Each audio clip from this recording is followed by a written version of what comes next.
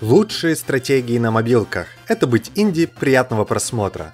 Steel and Flash 2 New Lands – это смесь средневекового 3D-экшена и стратегии. Вам выпадает возможность побывать в Средневековье в 1212 году, когда в Азии набирают силу Монгольская империя, а на Ближнем Востоке в самом разгаре крестовые походы.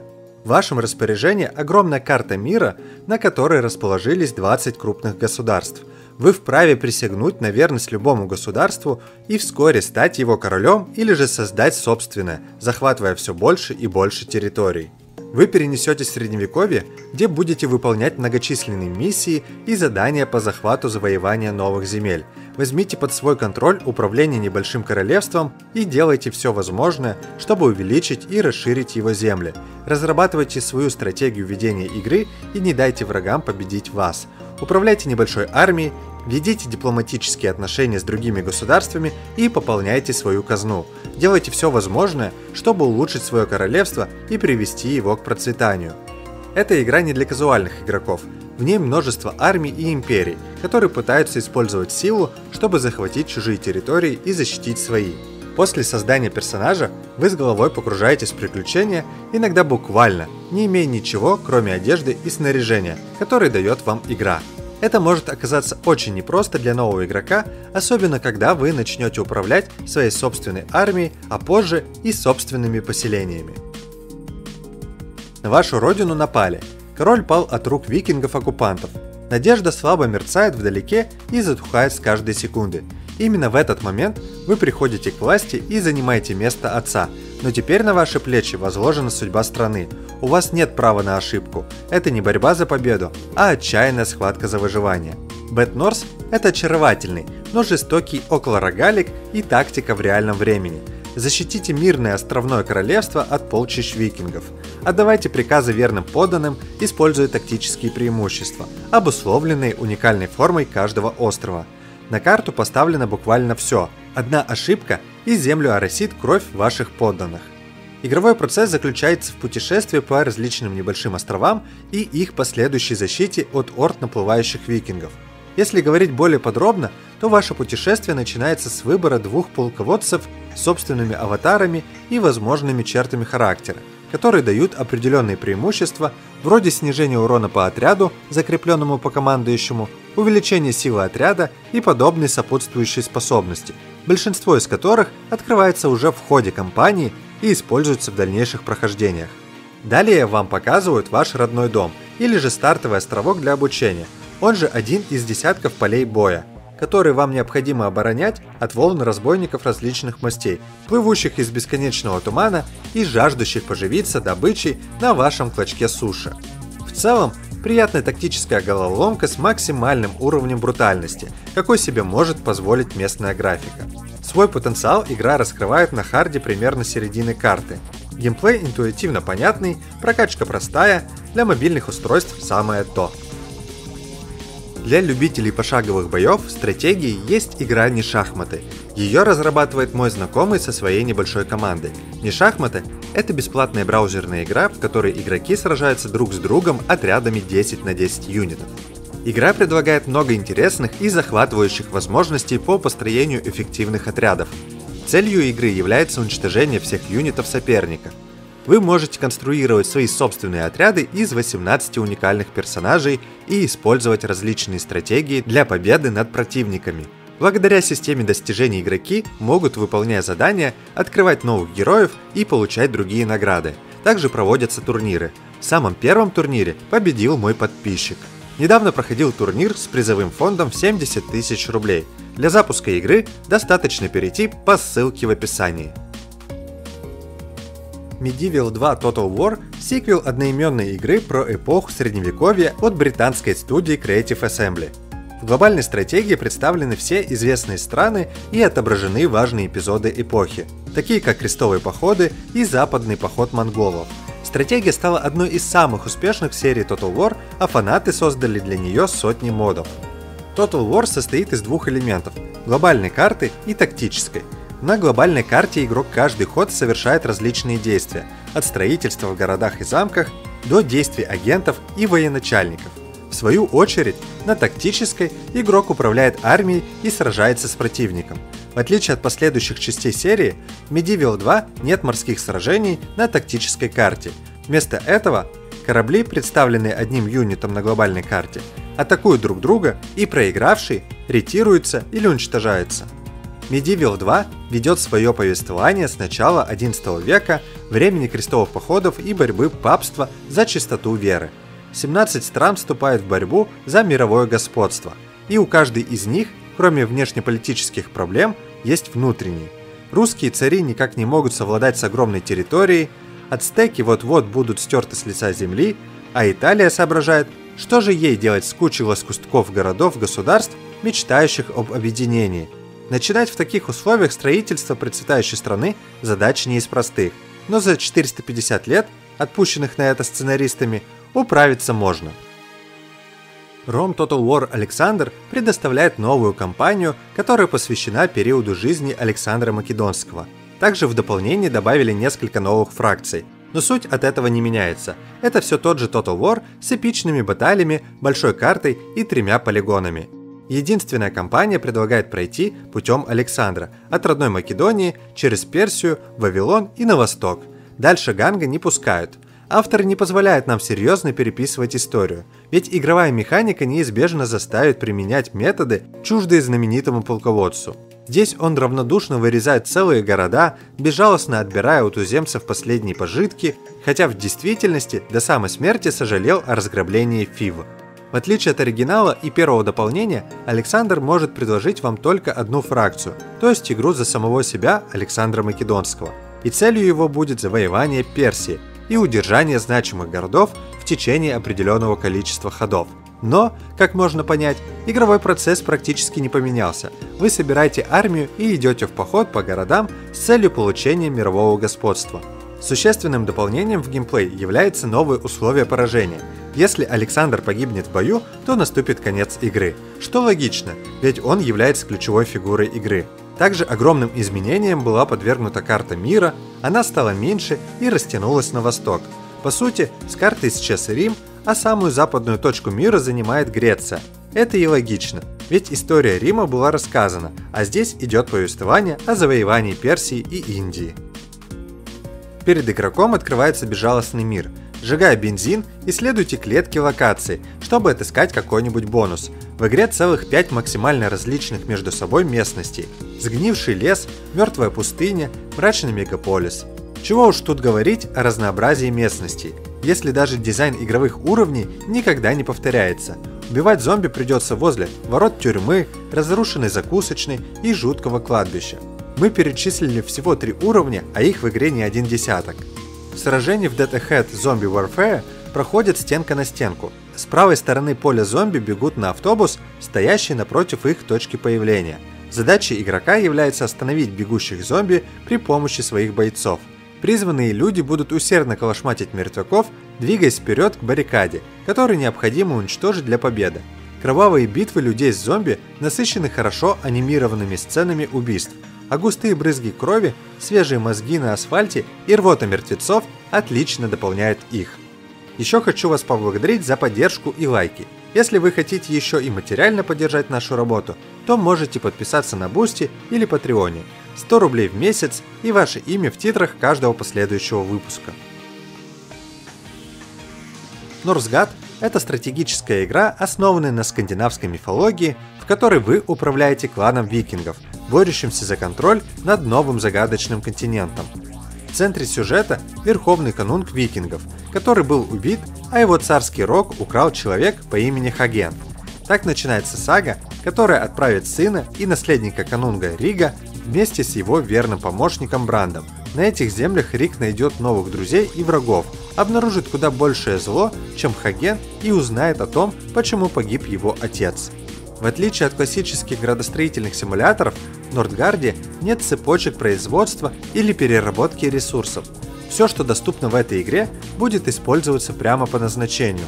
Для колонизации новых земель и поддержания жизнедеятельности ваших людей необходима еда – для возведения зданий и обогрева домов в суровые зимы – дерево, для содержания построек и для покупок на рынке – золото, для особых улучшений – камень и металл. В игре также присутствует параметр счастья клана. Чем выше счастье, тем быстрее появляются новые члены клана, и тем лучше работают все остальные. Однако, самый главный ресурс в игре – это люди. For Legends – классическая RTS в фэнтезийном сеттинге. Проект занимателен тем, что он копирует формулу Warcraft 3. Типичные расы – орки, люди, гномы, нежить, эльфы, но при этом является полноценной и отдельной игрой. Разработчики добавили сюжетную кампанию с мини-ачивками, удобное управление и даже озвучку персонажей, причем на русском и английском языках. Большая часть юнитов в игре обладает каким-то уникальным пассивным свойством, а то и несколькими. Мерзкие ядокрылые способны заражать врагов, не позволяя им восстанавливать здоровье. Гоблины-ракетчики умеют накрывать отряды взрывной волной. Гвардейцы специализируются на сражении с кавалерией, в то время как конные рыцари и наездники на волках умеют наносить удары на ходу, не останавливая продвижение. Здесь тоже действует принцип камень-ножницы-бумага, и очень важно учитывать особенности противостоящих вам армий при разработке оборонительных и наступательных стратегий. Если вам хочется олдскула, все бросить и снова сыграть старую добрую РТС, чтобы там были орки и гоблины, гномы и эльфы, герои и магия, то War Legends как раз для вас. Динамичная пошаговая стратегия, возрождающая традиции Incubation и Laser Squad. Возглавьте команду самых отчаянных бойцов, крушите инопланетных монстров и раскройте тайны затерянной планеты – Миссии организованы в виде уровней, на прохождение которых уйдет от 5 до 15 минут. Особую напряженность действию придает то, что нужно выполнять не только основные цели задания, но и искать секреты, при этом желательно, чтобы это укладывалось в определенное количество ходов. Сражения довольно напряженные, у бойцов хорошие пушки, но запас патронов к ним ограничен. Имеются маломощные стволы с бесконечным боезапасом, оружие ближнего боя, но это появляется далеко не сразу – да и наносит меньше урона, чем с основных оружий. Сюжет вдохновлен золотым веком научной фантастики, начиная от романов Хайлайна и заканчивая культовыми комиксами. Вы можете окунуться в атмосферу космического приключения. Также Spaceland стала первой игрой от российских разработчиков в подписке Apple Arcade. Пошаговая стратегия в научно-фантастическом сеттинге доступна за 199 рублей в месяц вместе с другими играми. Guns Up – это бесплатная стратегия, в которой игроки сражаются друг против друга, уничтожая базы противников и укрепляя собственную армию. Игра сочетает в себе сразу два жанра – захват базы и защиту башни, что делает эту игру необычной. Основной игровой процесс вращается вокруг уничтожения баз или защиты и улучшения собственной базы и войск. Все дело в стратегии и правильном использовании силы, чтобы пройти и выиграть свои сражения – Легко понять, как все работает, но чтобы стать хорошим в этом, требуется немного времени. Но это не самая лучшая игра, когда дело доходит до требований к навыкам. Опять, довольно легко провести параллели с Clash of Clans. Игра представляет собой PvP title, поэтому вы сражаетесь с другими игроками, но есть и одиночные режимы. Когда вы защищаете от нападения, вы должны правильно расположить и развернуть свои войска, чтобы сократить свои потери и количество врагов. Атаки могут происходить и тогда, когда вы не в сети, поэтому лучше настроить все перед выходом из игры. Существуют различные классы бойцов, которые составят ваши войска, от обычных пехотинцев до гренадеров и всего, что между ними. А специальные атаки и защиты включают дымовые гранаты и авиаудары, которые могут уничтожить и дезориентировать ваших врагов. Игроки также могут работать вместе со своими друзьями, чтобы создавать альянсы и добиваться большего успеха вместе. В целом игра действительно доставляет удовольствие. Одна из вещей, которые требуют некоторого времени, это прокачка вещей. И хотя это не обязательно плохо, иногда это может доставлять небольшие неудобства. Вам определенно придется приложить некоторые усилия, чтобы расти и становиться лучше в игре. Также хочу поблагодарить подписчика, который предложил этот топ в одном из комментариев к выпуску и предоставил список игр – и нашего сценариста этого выпуска. Вы можете его поддержать подпиской на телеграм-канал. В нем Кирилл рассказывает о геймдизайне, сценарном деле, авторстве статей, кино и многом другом на личном опыте. Ссылка на канал в описании. А если у вас есть в голове список крутых игр определенного жанра, то можете писать в комментарии. Kingdom Two Crowns — это минималистичная микростратегия с горизонтальной прокруткой и потрясающей пиксельной графикой. Принимайте корону, сделайте верного скакуна и отправляйтесь вербовать сторонников и строить королевство. Но, расширяя границы, не забывайте о защите. Полчища жадности только и ждут, чтобы отобрать у вас все нажитое непосильным трудом. В новом режиме кампании монарху придется потрудиться, и здесь ваша цель не только создавать королевство на века, но и истребить войска жадности, положив решительный конец их атакам на ваши границы. И не забывайте исследовать окружающие земли. Вас ждут новые скакуны и тайны, сокрытые в недрах земли. Целью каждой из компаний является не просто продвижение вперед, а методичный захват и подчинение себе территорий, некогда захваченных жадностью. Да, вы все еще плывете от острова к острову, но покинутая вами суша не перестает существовать. Она продолжает жить своей жизнью. Ее обитатели все еще подвергаются атакам жадности. И главное, в один прекрасный день, обзаведясь армией и властью, вы вернетесь туда, чтобы довершить начатое.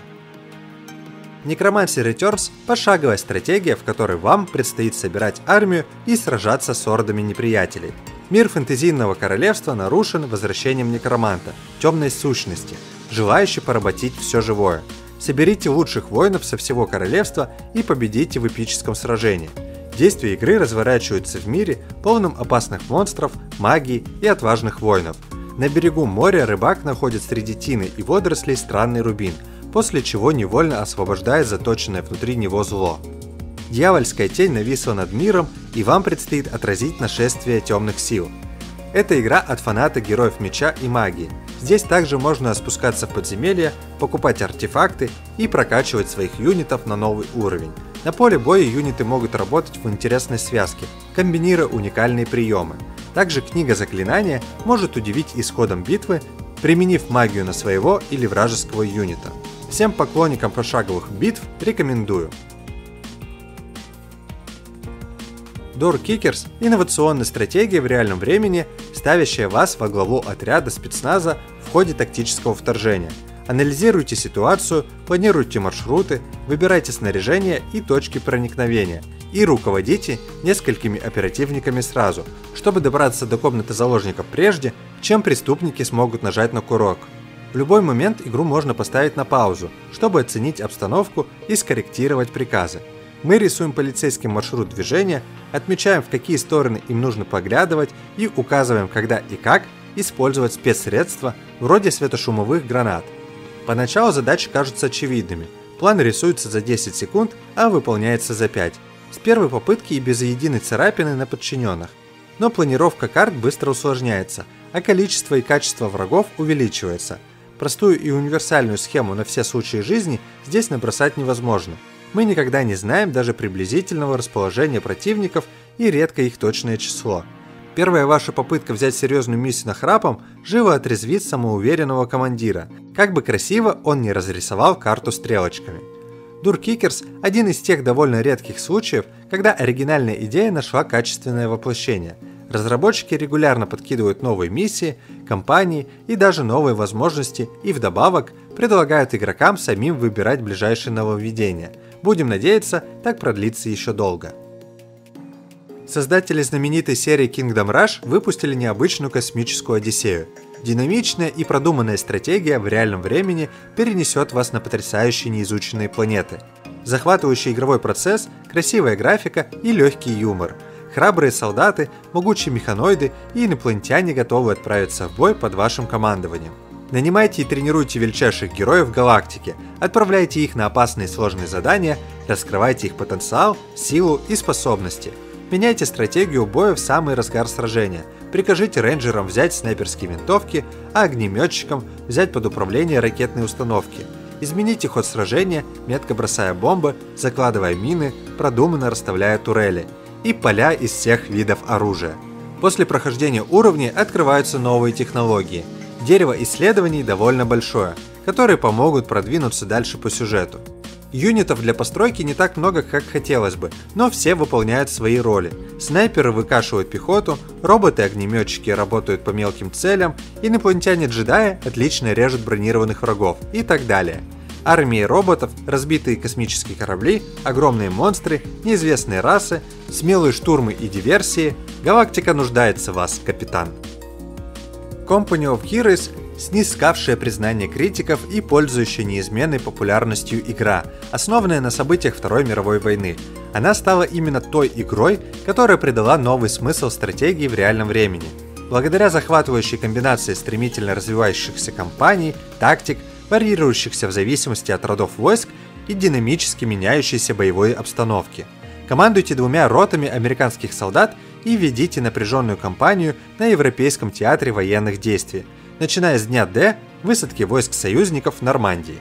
Направляйте отряды американских войск против могущественного немецкого вермахта в 15 сложных миссиях, основанных на одних из самых сложных боевых действий Второй мировой войны.